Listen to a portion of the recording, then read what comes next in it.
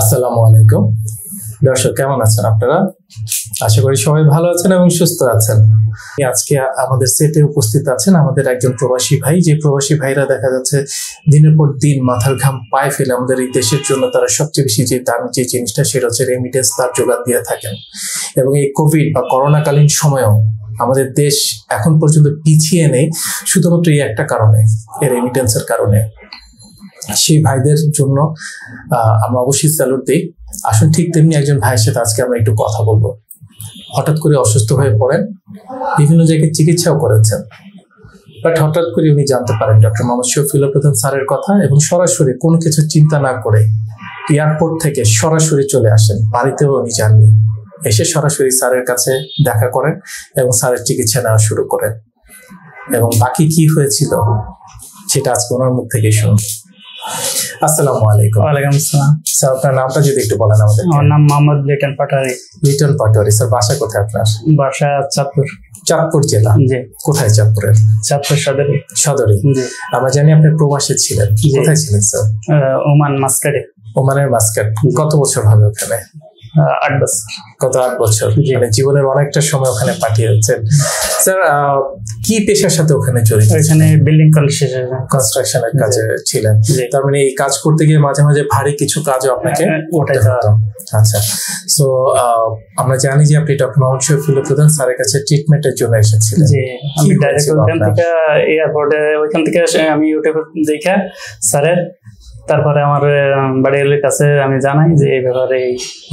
স্যারের সিরিয়াল নাম্বারটা দেওয়ার জন্য। তা আমি ওইখান থেকে ফ্লাইটের থেকে নামি এয়ারপোর্টের থেকে ডাইরেক্ট স্যারের স্যারের কাছে এখানে আসি আচ্ছা, এখানে চিকিৎসা কি হয়েছিল আপনার স্যার যদি আমার ওইখানে বাথরুমে পড়িয়ে গেছিলাম। কতদিন আগে হবে এটা? পাঁচ মাস আগে। গত পাঁচ মাস আগে বাথরুমে হয়তো গোসল করতে স্লিপ করে পড়ে গেছেন স্লিপ করে পড়ে গেছে করার পরে কি হয়েছিল? করার পরে আমার মাজায় ব্যথা ছিল। কোমরে দেওয়ালে লেগে ব্যথা পেয়েছি।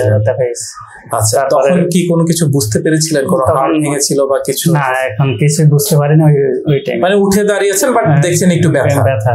দুই একদিন পর দেখছেন এই ব্যথাটা ব্যথাটা ধীরে বেশি হয়ে গেছে। দোনো আমার একদম পায়ে বাম পায়ে দিয়ে একবারে পুরো এটা কি এক দুই দিন পরেই যে পায়ে পর্যন্ত ব্যথা ছড়িয়ে গেছে? না তিন দিন চার দিন পরে তিন দিন চার দিন পরে। তো প্রথম যখন ব্যথা পান কোনো ডক্টর দেখিয়েছিলেন নাকি ওইখানে ডাক্তার দেখাইছিলাম। আচ্ছা কতদিন পরে দেখিয়েছেন? ওইখানে ডাক্তার দেখাইছি পাঁচ দিন পরে। পাঁচ দিন পরে। যখন দেখছেন ব্যথাটা পায়ের দিকে চলে যাচ্ছে। চলে গেছে হাঁটতে পারি না। হাঁটতে পারছেন না। মানে সুস্থ মানুষটাই হঠাৎ করে দেখছেন না। রগের ভিতরে টান খায়। মানে পা সামনে যখন দিচ্ছেন তখন না। দেখছেন টান খাচ্ছে। টান খাচ্ছে আর হাঁটতে পারি না। আচ্ছা তখন কি করলেন? ডক্টরের কাছে ওই ডাক্তারের কাছে গেছি ডাক্তারে উনি বলছে যে ইন্ডেকশন গেছি আর ইন্ডেকশন দিয়ে দিয়েছে চেক আপ করিয়া উনি। আলট্রাসাউন্ড করছে করিয়া বলছে যে মাসেলের সমস্যা মাসেলের সমস্যা সেটা ঠিক হয়ে যাবে ঠিক কিছু আছে। বলেছিলেন হ্যাঁ। আচ্ছা ইনজেকশন দিয়েছেন কোন। উপকার পেয়েছিলেন না কোনো উপকার পাই বরং দেখছেন আগের মতোই আছে আগের মতে আছে। আরও দিন যখন যাচ্ছে আরও বেশি আর- বাড়তে পারে আমি হাঁটতেই পারি না একবারে হাঁটতে না পারলে কাজ করবেন কীভাবে। জি ওখানে তো তারা তো আসলে আপন কেউ না যে তারা কাজে না রুমের থেকে তো সবাই জায়গা ডিউটিতে। আপনি ঘরে পড়ে একলাই রুমে থাকি। দেশে এরকম হয়তো আমার আশপাশে মানুষজন আছে আত্মীয় স্বজন আছে তারা সেবা শুশ্রূষা করছেন বা ডক্টরের কাছে নিয়ে যাচ্ছেন। নিয়ে কেউ নেই। ওইখানে এরকম সময় দেওয়ার জন্য লোক থাকে না।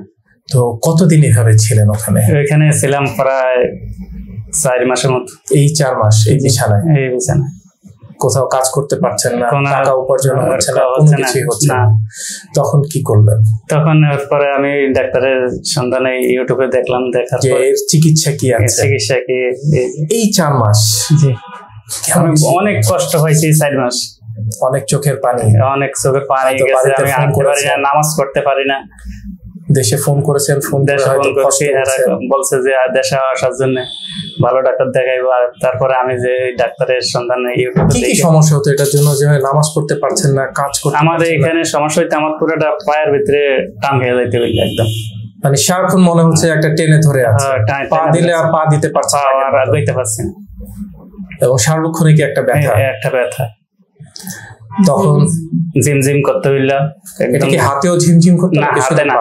হাতে না কোমর থেকে নিচ পর্যন্ত? নিচ পর্যন্ত বাম সাইডে আচ্ছা। কখনো এরকম মনে হয়নি যে আমি কি আর সুস্থ হব না আর কি পঙ্গু হয়ে যাব আমার না এটা তো অনেক মনের মনের ভিতরে অনেক দুর্বলতা আইছে অনেক ভয় লাগছে যে ছোট ছোট বাচ্চা আছে কি হবে তাদের? নাই পিছে মানুষ নাই অনেকেই অনেক কিছু চিন্তা করতে হয়েছে। চিন্তা করতে হয়েছে। এই দোটানার মাঝখানেই হ্যাঁ। ইউটিউবে সার্চ করা শুরু করলেন হ্যাঁ, কোথায় চিকিৎসা আছে কোথায় চিকিৎসা আছে তখন এই অসংখ্য ডক্টরের মাঝখানেই আপনার হ্যাঁ। নজর কাড়লো ডক্টর যে ওই ডাক্তারের প্রোগ্রাম দেখেই আমি। আমার ওয়াইফের কাছে আমি নাম্বারটা পাঠাইছি যে এবং আপনার বাড়ির যে মানুষ তারা হচ্ছে সরাসরি একটা সিরিয়াল দিয়েছে।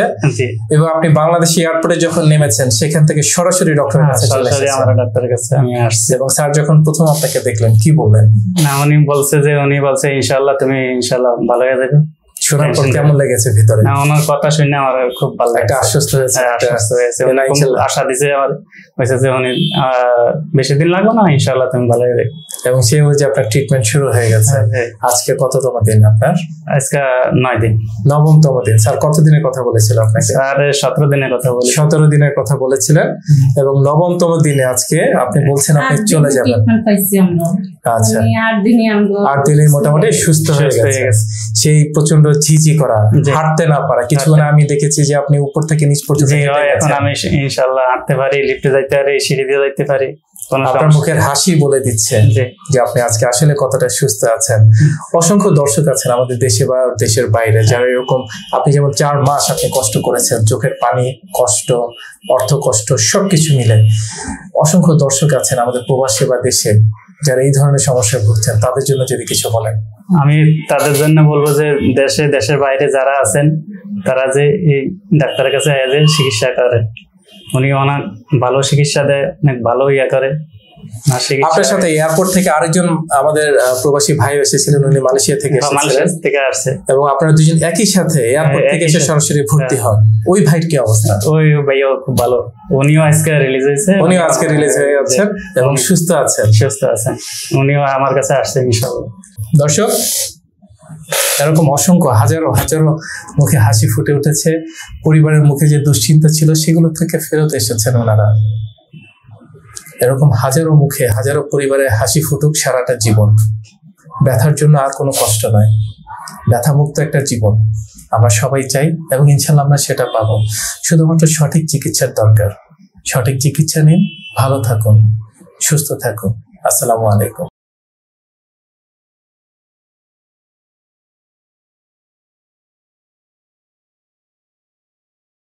আস্থা, বিশ্বাস ও নির্ভরতায় অবিচল।